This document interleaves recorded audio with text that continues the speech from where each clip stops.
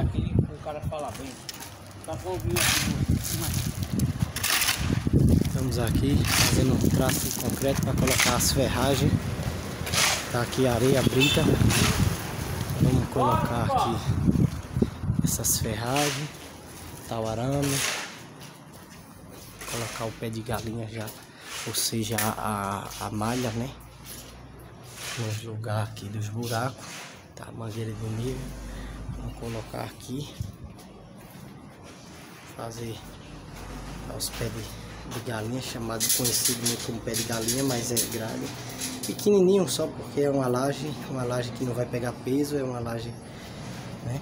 O buraco tá com mais ou menos 60. O buraco tá com tá com 50 50 centímetros de, de profundidade. Vamos jogar uma camada aqui embaixo, uma camada de concreto para colocar a tela e fazer a amarração da, da de toda a ferragem. Os buracos todos padronizados, 50 centímetros de altura.